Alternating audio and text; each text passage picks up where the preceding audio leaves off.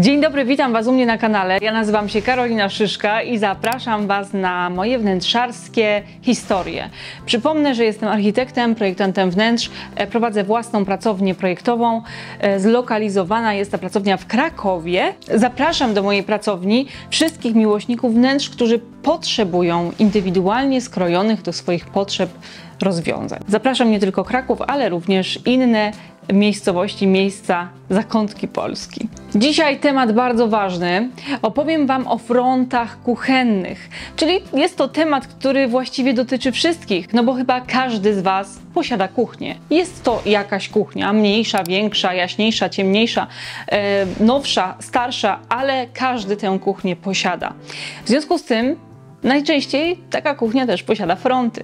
I odwieczne pytanie, jakie fronty do kuchni wybrać? Opowiem Wam dzisiaj, jakie rozwiązania polecam ja w mojej pracowni projektowej. Dlaczego? Pokażę Wam przykłady. Od razu jeszcze na początku powiem, że oczywiście nie wymienię dzisiaj wszystkich materiałów, które można we wnętrzu na frontach zastosować. Dzisiaj opowiem Wam o trzech rozwiązaniach, które są najczęściej używane we wnętrzach przeze mnie, przez moją pracownię, które są też bardzo powszechne, ale nie każdy wie, dlaczego są powszechne, dlaczego są wybierane, jakie mają plusy, minusy, wady, zalety. Więc zapraszam, e, zasiądźcie wygodnie i oglądajcie.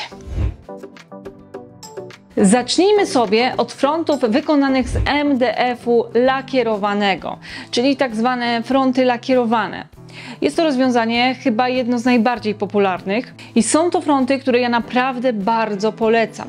Dlaczego? Fronty lakierowane wykonane z MDF-u wykonuje się na przykład na stolarni, czy też u lakiernika, w zależności kto czym się specjalizuje.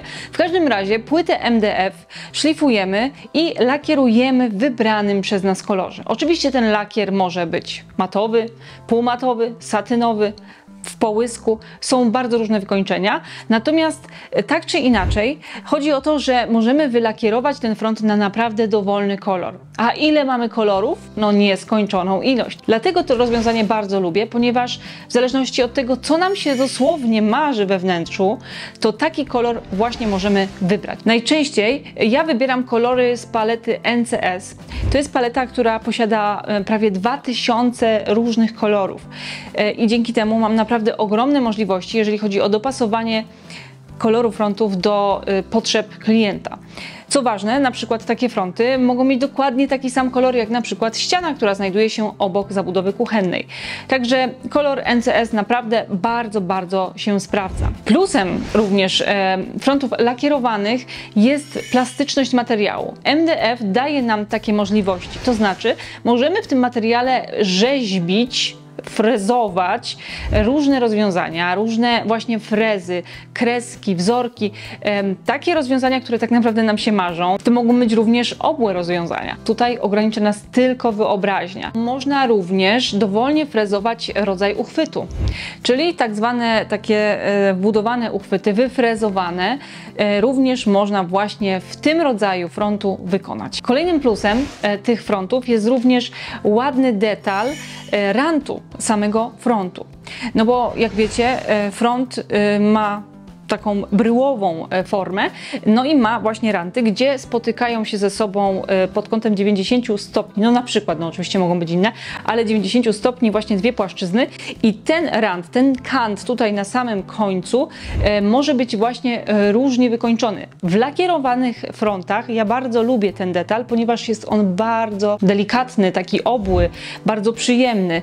No i ten lakier ładnie zawija nam się na te boczne krawędzie. Dzięki temu właśnie, że mamy taką kontynuację lakieru również na bokach i tutaj na rantach, na, mm, na kantach tego e, wykończenia e, nie ma e, żadnego uskoku, żadnego łączenia, które powoduje, że możemy się dostać do tej przestrzeni MDF-u, to te fronty są odporne na wilgoć. Więc jeżeli chcemy zastosować odporne na wilgoć fronty, na przykład w naszej łazience, to bardzo polecam właśnie fronty lakierowane.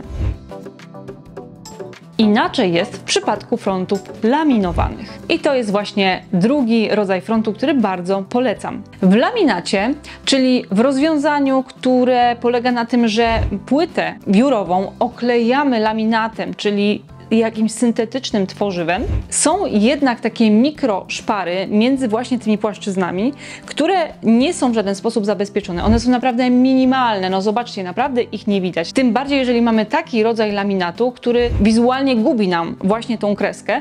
Natomiast dla wody to jest wystarczająca przestrzeń, aby wniknąć tutaj właśnie w tą płytę wiórową, tam pod ten laminat i żeby spowodować na przykład spuchnięcie tej płyty.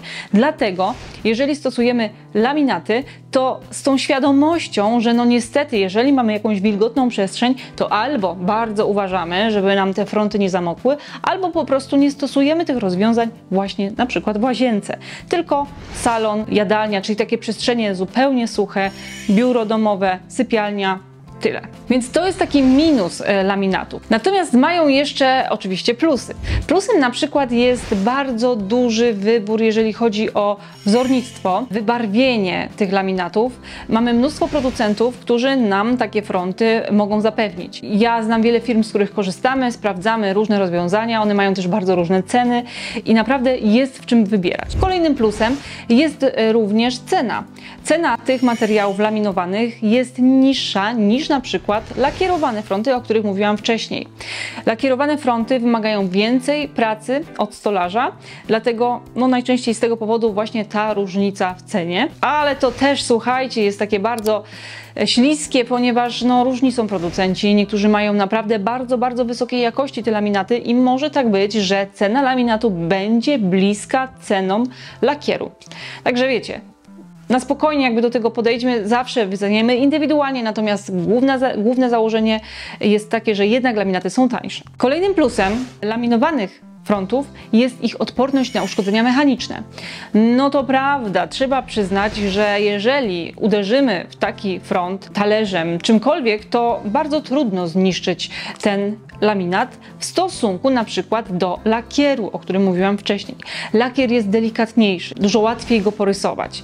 Więc jeżeli ktoś chce takie pancerne rozwiązania, no to tutaj laminat zdecydowanie polecam. Na pewno warto tutaj wspomnieć o tym, że ja nie jestem miłośniczką udawanych rozwiązań, nieautentycznych, czyli jeżeli na przykład mamy drewnopodobne laminaty, no to ja do końca nie jestem zwolenniczką tych rozwiązań. Natomiast jestem też człowiekiem i wiem jak to jest. No budżet nie jest z gumy i czasami po prostu nie mamy pieniędzy na to, by wykonać sobie fronty z litego drewna i wtedy szukamy zamienników. Dlatego laminaty w tej sytuacji przychodzą z pomocą i naprawdę świetnie imitują drewno. Trzeba przyznać, że wzornictwo drewna na tych laminatach jest naprawdę teraz na wysokim poziomie e, i dopóki nie dotkniemy czasami tej płyty, to nie zorientujemy się, że to po prostu nie jest drewno. E, mają świetne faktury, no nie tylko wybarwienia i jakby sam rysunek usłojenia, ale właśnie te faktury, które powodują, że wydaje nam się, że to jest szczotkowane drewno. E, jeżeli tutaj podpowiadam, chcielibyście zastosować rozwiązanie drewniane, ale szukacie oszczędności, to spokojnie te drewnopodobne rozwiązania z laminatów naprawdę dają radę. Wśród e, laminatów mamy jeszcze laminaty gładkie, jednokolorowe, monokolorystyczne. I te rozwiązania bardziej zdradzają nam to łączenie płaszczyzn pomiędzy e, oklejanymi bokami. Czyli zobaczcie, na przykład tutaj mamy taką zielonkawą płytę, zobaczcie na lakier, jak jest wykonany na, MDF, na MDF-ie, a zobaczcie jak to wygląda przy laminacie. No jest delikatna kreska, e, no i to jest właśnie ten element, który zdradza nam, że to nie jest lakier. I trzecim rozwiązaniem, które naprawdę też bardzo polecam, to są forniry. Czyli tak naprawdę jest to plaster drewna, bardzo, bardzo cieniutki, który jest naklejony na płytę wiórową.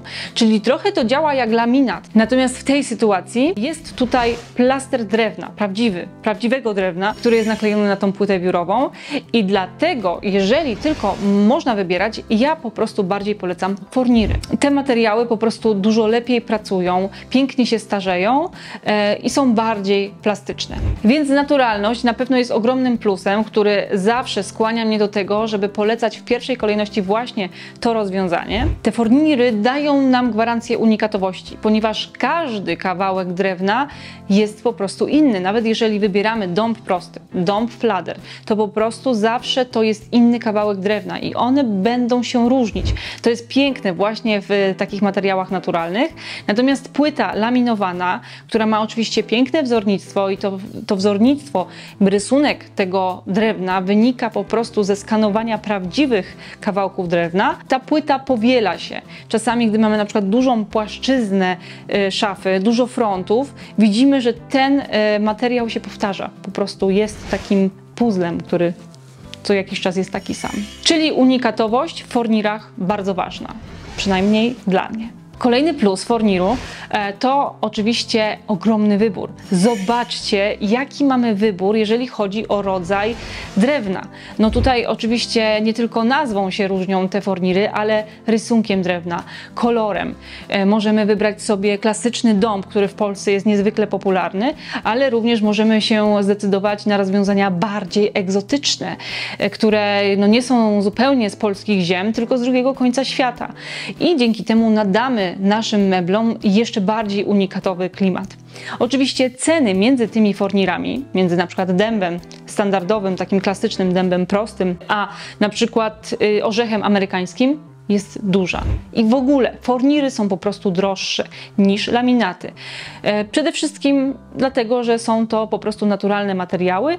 No i tutaj stolarz ma trochę też więcej pracy związanej z wykonaniem takiego frontu, ponieważ nie tylko to jest naklejenie tego drewna, ale również trzeba to zabezpieczyć, olejować lub lakierować. Także no tutaj taki mały minus za to, że cena. No mały, nie mały. Wszystko zależy od tego, jaki mamy budżet na wnętrza. Kolejny bardzo duży plus w tym materiale to to, że możemy wybranemu e, plastrowi drewna, fornirowi, nadać e, bardzo unikatowe odcienie. Zobaczcie paletę barw, którą możemy wprowadzić na każdy fornir. To jest tylko wybrana paleta barw, a tych kolorów jest oczywiście dużo, dużo więcej. Więc ten dąb może być jasny, rozbielony, ale może być też ciemny i może mieć kolor y, orzecha amerykańskiego. Kolejna sprawa to wykończenie lakierem lub olejem, olejowoskiem. Jest bardzo dużo rodzajów y, właśnie tego wykończenia, które może spowodować, że ten front będzie miał y, też unikatowy charakter, też będzie bardziej miał głęboki kolor lub będzie bardziej właśnie taki matowy, taki wypłowiały. I to, jakie wykończenie nadamy naszym frontom, zależne jest oczywiście od nas, od tego, jaki efekt wizualny chcemy uzyskać.